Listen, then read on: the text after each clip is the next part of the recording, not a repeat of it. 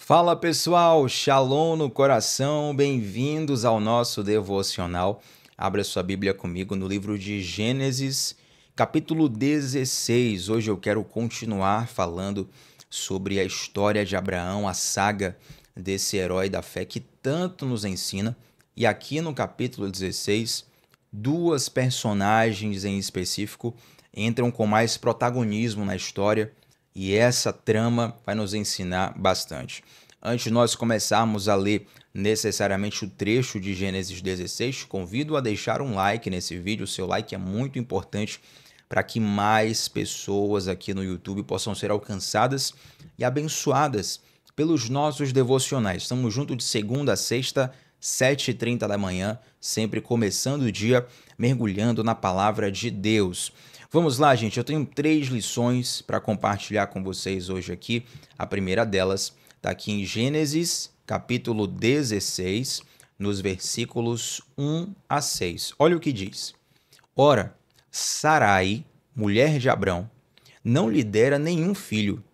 E como tinha uma serva egípcia chamada Agar, disse a Abrão: Já que o Senhor me impediu de ter filhos, possua a minha serva e talvez eu possa formar família por meio dela. Abrão atendeu a proposta de Sarai. E quando isso aconteceu, já fazia dez anos que Abrão, seu marido, vivia em Canaã. Foi nessa ocasião que Sarai, sua mulher, entregou sua serva egípcia a Abrão. Ele possuiu Agar e ela engravidou. E quando se viu grávida, começou a olhar com desprezo para a sua senhora. Olha que interessante, gente. Quem lembra que há dois devocionais atrás, nós falamos dessa possibilidade de alguns teólogos e historiadores afirmarem que Agar possivelmente era uma serva egípcia que foi dada de presente para o casal Abraão e Sarai quando eles saíram lá do Egito. Você vai relembrar que Abraão esteve lá no Egito, aquele episódio onde ele fala que Sara é sua irmã, e aí quando eles saem do Egito, Faraó enche ele de, de presentes, de favores, e provavelmente, essa não é uma afirmação bíblica, mas é uma inclinação de estudiosos da teologia, provavelmente é nesse momento que Agar passa a morar com Abrão e Sarai. Gente, tem duas questões da cultura dessa época que é muito importante entender. Primeiro, o valor e a importância de ter um filho. É claro que hoje sim as pessoas continuam valorizando a questão de ter filho, porém, uma mulher que era estéril naquela época, aquilo era considerado uma maldição da parte de Deus. Era como se aquela mulher não tivesse o favor de Deus sobre a vida dela. Então, ter um filho não era algo muito sério para a mulher por conta disso, e também algo muito sério para o homem, porque era o filho o homem que iria dar continuidade a geração daquele, a, descendência daquele homem, né? Por exemplo, no capítulo passado nós falamos sobre como Abraão pergunta para Deus: será que quem vai herdar a, a, as minhas posses, a minha herança, é o meu servo Eliezer? E isso seria muito problemático naquela época. Pensa o seguinte: se Abraão fosse envelhecendo, sem ter filhos, e de repente o servo dele se visse na iminência de herdar tudo, isso colocaria em perigo até a própria vida de Abraão o servo dele poderia sabotar a vida de Abraão, a vida do seu, do seu senhor, para possuir logo os seus bens. Então, ter um filho tinha muita importância cultural, social, emocional e espiritual. Além do que, há uma promessa clara da parte de Deus. Deus fala para Abraão que dele viria uma descendência muito numerosa. Já se passou algum tempo e Abraão já está velho, e ele ainda não tem filhos, a sua esposa era estéril. Observe que no versículo 3 fala que já fazia cerca de 10 anos que Abraão tinha saído lá da sua terra original, onde ele foi chamado por Deus. Ele foi chamado com 75 anos, então aqui ele está com cerca de 85 anos de idade. Então, Sara, para tentar sanar essa questão, Sara, ela toma uma atitude, que é o outro contraste social que eu preciso que você entenda. Sara oferece a sua serva Agar, a concubina, para se deitar com Abrão. Gente, esse ter o filho com a concubina, essa relação sexual com a concubina, não era considerada traição. Não, não, não é uma vida dupla por parte de Abraão, não é uma traição amorosa. Pelo contrário, você vê que a própria Sara oferece para Abraão se deitar com a sua serva e o filho daquela serva seria tratado como filho do casal. Entende? Era muito comum na antiguidade que isso ocorresse. Porém, acontece o seguinte: Agar engravida, e quando Agar engravida, ela começa a se rebelar contra Sara, que era a sua senhora. Por causa dessa rebeldia, a Bíblia não entra em detalhes, mas nasceu ali uma rivalidade entre as duas. E por causa dessa rivalidade, por causa dessa chateação de Sara, Sara pede para que Abraão tome uma providência e Abraão coloca Agar para ir embora de casa. Ele prefere permanecer com Sara. Nós estamos vendo aí, gente, no Oriente Médio, é, diversas reverberações ainda atuais de algo que nasceu exatamente aqui. Agar tem um filho que se chama Ismael.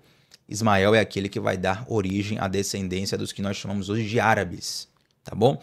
É muito difícil você dizer especificamente quem é árabe hoje em dia, né? Muitas pessoas confundem, por exemplo, muçulmanos com árabe. Mas nem todo muçulmano é árabe. Você pode ser muçulmano, por exemplo, no Irã. O Irã é uma nação persa. Você pode ser um muçulmano na Turquia. A Turquia também não é árabe. Ou, por exemplo, há pessoas que acham que todos os que falam o idioma árabe são etnicamente árabes. Então, tem, tem três coisas. Primeiro, a religião árabe, mais famosa delas, o islamismo. A linguagem, o idioma, é, perdão, a, a religião árabe, que é o islamismo o idioma árabe, que o próprio nome é árabe, né? Árabe, árabe. e tem a etnia árabe, ou seja, a descendência dos árabes. Essa descendência, ela vem dentre os filhos de Ismael, nasce exatamente aqui. Talvez você pense assim, por que, que os árabes também são tão prósperos? Porque eles são filhos de Abraão. Sobre eles repousam sim um determinado favor de Deus, que você vai ver no final do capítulo 16, e você vai estudar comigo daqui a pouquinho aqui na continuidade do devocional. Porém, esse, esse nascimento uh, de Ismael não era o filho da promessa de Deus. O que aconteceu aqui, gente, é que Sara ela tentou impor o cronograma dela para Deus, ao invés de esperar no Senhor. E quantas vezes acontece isso conosco, né? Essa primeira lição que eu quero compartilhar com vocês. Nós não podemos impor o nosso cronograma para Deus ao invés de esperar no Senhor. Quantas vezes a gente quer acelerar as promessas de Deus, a gente acha que está demorando muito, a gente tenta dar uma ajudinha a Deus, entre aspas, e essa ajuda acaba atrapalhando tudo. Desse episódio aqui saiu raiva, saiu rancor, saiu chateação, muitas situações ruins se, se sucederam diante disso por conta dessa, uh, dessa atitude mal pensada, dessa má decisão que Abraão e Sara tiveram. Coloco Abraão e Sara porque Sara dá a sugestão, mas quem aceita é Abraão. Abraão ele ouvia a voz do Senhor, ele, ele conversava diretamente com Deus, então ele tinha revelação de Deus suficiente para poder não colocar aquilo em prática. Então é um erro dos dois e esse erro trouxe consequências não só para essa família em específico, mas para diversos povos que ali se sucederam. Olha a importância de esperar no Senhor. Eu conheço uma pessoa, por exemplo, e a pessoa estava cansada de esperar no Senhor na área de relacionamento. Né? A idade passando, a pessoa considerou ali que estava, olha, tô, tô, envelhecendo, não conheci ninguém e tal, agora eu vou realmente, tenho que apressar, tenho que conquistar alguém. E eu falava assim para a pessoa, olha, antes só do que mal acompanhado. Talvez você está aí reclamando da solidão hoje, mas é melhor você estar tá sozinho do que você estar tá com alguém que vai ser o maior problema da sua vida. A pessoa, não, não, não, precisa de alguém, precisa de alguém, precisa de alguém. Quando foi ver, se envolveu com, com uma pessoa completamente equivocada e sofreu muito por conta dessa decisão. Sofreu muito, em toda a área que você imaginar. Tem coisa que eu não posso nem falar aqui, senão o YouTube derruba a nossa transmissão. Então, essa é uma das lições muito simples que a gente vê nos dias de hoje, dos danos de nós não respeitarmos o tempo de Deus. Entende? A gente quer acelerar demais e só Deus sabe quando nós estamos prontos. Só Deus sabe qual é a hora certa. Confie no Senhor e espere em Deus, porque as promessas dele se cumprirão na hora certa. A segunda coisa que eu quero ler com vocês aqui é a partir do versículo 9 até o 13. Gente, olha o que diz. Disse-lhe então o anjo do Senhor: Volte a sua senhora e sujeite-se a ela. Então o que é que acontece? Sara pede para que Abraão expulse H, na verdade, que Abraão tome uma providência diante daquilo, né? H estava em atrito com Sara agora, e Abraão envia Sara para o deserto. Perdão, perdão, perdão, eu falei errado. Abraão envia Agar para o deserto, me perdoe. Né? E lá no deserto, Agar, ela, ela recebe a visita de um anjo do Senhor. Olha o que diz o versículo, o versículo 7. O anjo do Senhor encontrou Agar perto de uma fonte no deserto, no caminho de sul, e perguntou-se: Agar, serva de Sarai, de onde você vem? Para onde vai? E respondeu ela: Estou fugindo de Sarai, a minha senhora. Gente, preste bem atenção numa coisa: fugitivos não possuem destino. Tá bom?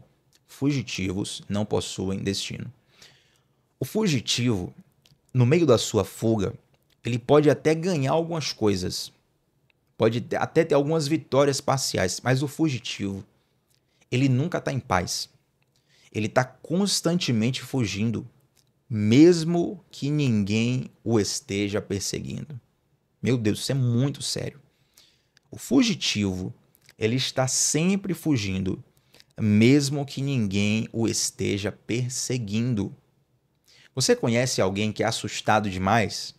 Aqui na Bahia a gente costuma brincar, né? Agora a pessoa está assustada demais e pergunta assim: Ué, por que você está assustada? Você está tá devendo, né? Você está fugindo de alguém? Porque o fugitivo, ele tem uma mentalidade de fuga. Ele acha que o tempo todo vai acontecer alguma coisa com ele que pode acabar com a vida dele no instante. Então ele constantemente está ansioso, ele constantemente está tenso, ele constantemente está fugindo. Deus não nos chamou para sermos fugitivos. Deus tem um destino preparado para nós. Você sabe para onde está indo. E mesmo que você não saiba para onde está indo ou como está indo, você confia no guia. E o nosso guia é Jesus, entende? Então o anjo ele vem para Agar e é interessante que o anjo chama Agar de serva de Sarai, né? Traz ali uma, denota ali a identidade de Agar. E Agar fala: Olha, eu tô, tô fugindo de Sara, minha senhora. Aí o anjo fala assim: Ó, volte para sua senhora e se sujeite a ela. Sabe por quê, gente? Porque existem pendências emocionais que nós precisamos resolver. E se nós não resolvermos, nós nunca vamos viver o, o, o propósito, o chamado destino que Deus preparou para nós. O que o anjo está falando aqui, quando ele fala para Agar voltar para a casa da sua senhora Sarai e sujeitar-se a ela, o que o anjo está dizendo é o seguinte: você pode, você entrou em atrito com Sara, você começou a maltratar Sara, criou-se uma briga, você está aí agora fugitiva, rancorosa, cheio de pendências emocionais. Você precisa voltar para a casa de Sara pedir perdão a ela, sujeitar-se a ela. E quando você pedir perdão a ela, quando você se sujeitar a ela, muitas coisas vão ser resolvidas dentro de você. Talvez você está ouvindo essa história aqui agora e pergunta, Tiago, como que eu aplico essa palavra em minha vida? A pergunta é: quais são as pendências emocionais que você precisa resolver? Quais são as pendências emocionais que você precisa resolver?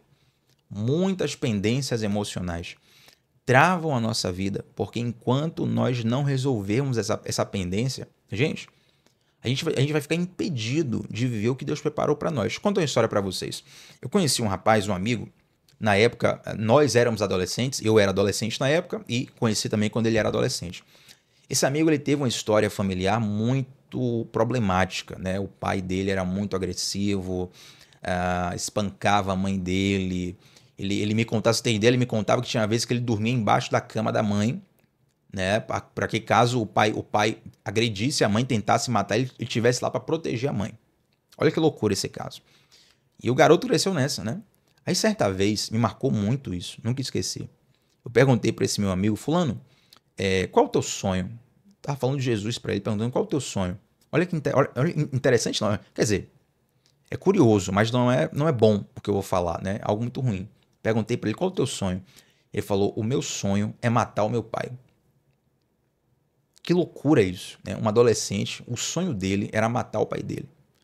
E aí ele começou a explicar o porquê. Foi aí que ele falou de todos os abusos que o pai dele cometia, né? Contra a mãe, contra ele, contra o irmão. E o pai, na verdade, gente, o pai dele era um risco de vida para ele, entendeu? E aí eu fiquei pensando naquilo, meu Deus, olha que loucura.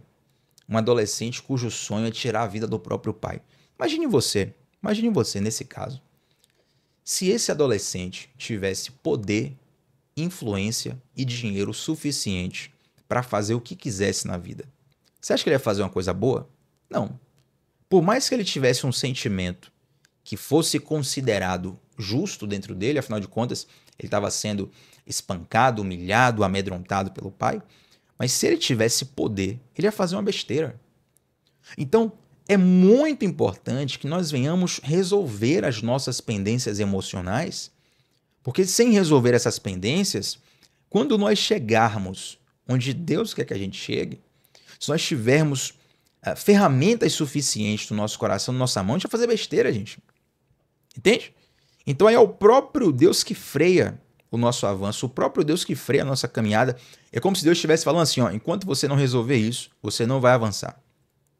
Porque se você avançar sem resolver, lá na frente isso vai ser um problemaço para a sua própria vida. Então o anjo do Senhor chega para H e fala assim: ó, volte para sua senhora e sujeite-se a ela. Versículo 10: Disse mais o anjo: Multiplicarei tanto os seus descendentes que ninguém os poderá contar. Verso 11: Disse-lhe ainda o anjo do Senhor: Você está grávida e terá um filho, e lhe dará o nome de Ismael, porque o Senhor a ouviu em seu sofrimento. Olha que história interessante, né? H, ela é colocada para se deitar com Abraão, ela é serva daquela família, serva de Abraão, serva de Sara.